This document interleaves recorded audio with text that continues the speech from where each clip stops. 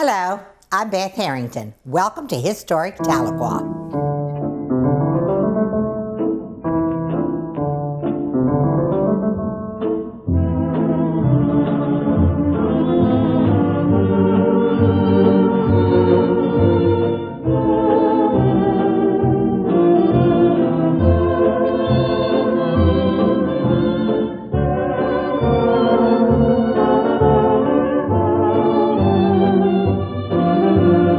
We are here at the Jones Powell home, now the home of David and Kathy Lloyd, and Kathy Lloyd is here with us. We're going to be looking at the exterior and the interior of the home, and it's fascinating.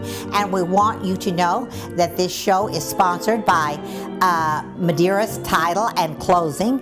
And when we come back, we'll begin with the exterior of the house.